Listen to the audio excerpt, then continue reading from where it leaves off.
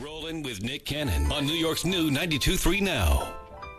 So, like when my wife and I announced that she was pregnant, uh, there's reasoning behind trying to keep things private and not wanting to give out too much information, you know, before our, our situation.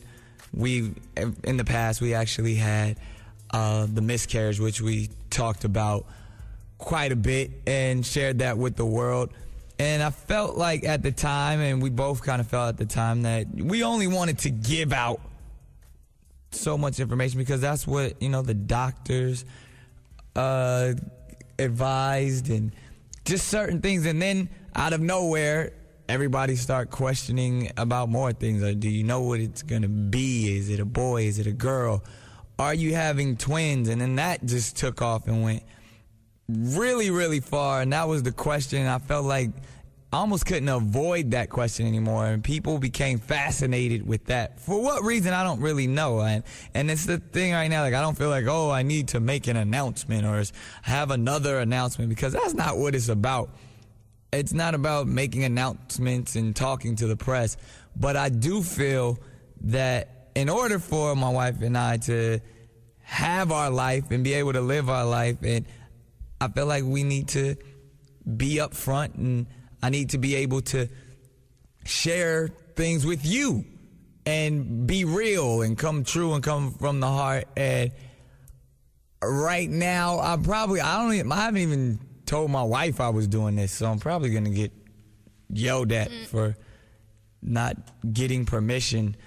Uh, but I just have a, a very interesting story. On Friday, you will see my wife perform in front of the president and the first family for Christmas in Washington. And she started off her performance. She opens the show with a song that she wrote called One Child, uh, which is kind of ironic. The song is called One Child and it's a, it's a festive holiday song. She even speaks of how she was inspired by writing this song and being pregnant and it being about a child. And as we know, Christmas is about the birth of Jesus, one child that changed the world. So as she's singing this song and she goes backstage and she has, you know, it's the whole show going on. She has the opportunity to speak with the president and the first family.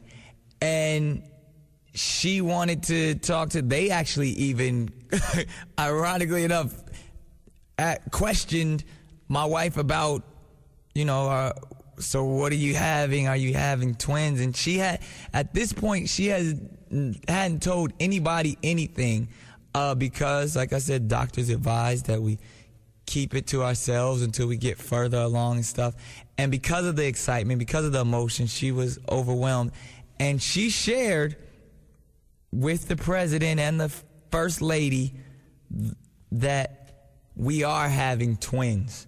And I knew it. You, you, you, ain't gonna let me finish the story. Just well, congratulations! Congrats, go on.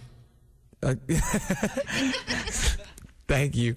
And, and um, I think just that excitement, just being overwhelmed in that moment, and being able to tell somebody about that in that special time and saying that we even will be able to share that story with our children that the first people or person that your mother told that you guys will be on this earth together was the president of the United States and his wife. Wow. So that's an awesome story to be able to tell. And again, just saying that, I feel like it's not like it's, it's an announcement and everybody and, oh, you slipped up here and you slipped up there. It was something that you know, at certain times during your pregnancy, you're not supposed to say certain things and you're not supposed to talk about certain things. And that was something that we were advised to kind of keep close to ourselves. And now that, you know, we actually had another ultrasound uh, last night and